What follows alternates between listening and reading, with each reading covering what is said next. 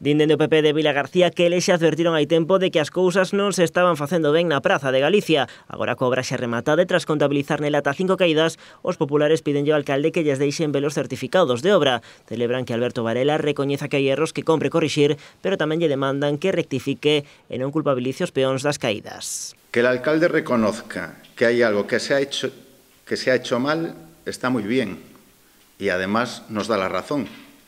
Pero que diga que los accidentes son por despistes o porque estamos acostumbrados o que no estamos acostumbrados, perdón, a la nueva obra es querer echarle la culpa a los ciudadanos.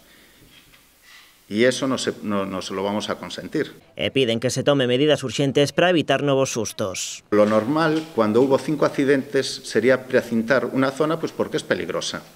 Al menos hasta que se tomen las medidas de seguridad definitivas que a vista está que son moi necesarias No debe permitirse que haya máis accidentes. Os populares tamén denuncian que o proxecto inicial e o definitivo sufriron moitos cambios coa eliminación de algúns elementos como máis chorros de auga ou a inclusión doutros cos que non se contaba, como un fío musical. Falan tamén dun cúmulo de despropósitos na praza como unha fonte que molla, unha árbore que dificulta o paso entre Castelao e Rei da Viña ou uns parterres que ensucian o chan.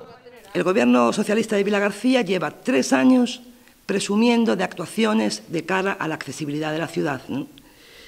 Bueno, pues su primera obra, obra, con algo de entidad, que es la obra de, bueno, de mejora, vamos a poner entre comillas, la Plaza de Galicia, está llena de obstáculos. Es una barrera en sí misma. No es que tenga barreras, es que es una barrera en sí misma. Dificulta muchísimo el paso para personas con movilidad reducida. Eso no es una opinión, está demostrado por los accidentes de estos días con, con discapacidad, y no te digo nada, personas con discapacidad visual. Eso puede ser una trampa mm, considerable. ¿no? Os populares tamén aproveitaron para poñer en cuestión a eliminación do tráfico de vehículos na zona. Din que se a día de hoxe as incomodidades xa son evidentes, o problema irá a máis nos meses de verán coa chegada dos turistas á localidade.